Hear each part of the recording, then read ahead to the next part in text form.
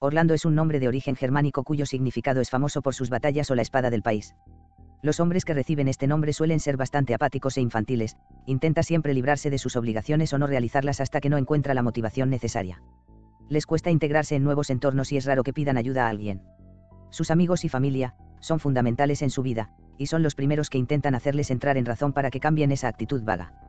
En su tiempo libre les gusta pasar tiempo solos en su casa o leer libros, ya que son grandes amantes de la literatura, especialmente de las historias de suspense o terror. En el trabajo son algo despreocupados e independientes, pero esto no significa que no puedan ser grandes trabajadores, sin embargo en las relaciones de pareja necesitan cierto apoyo de sus parejas para tomar decisiones y que les intenten comprender en todo momento.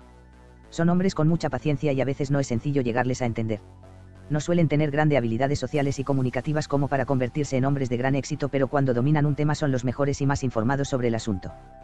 No olvides suscribirte a nuestro canal para disfrutar de nuevos vídeos todos los días.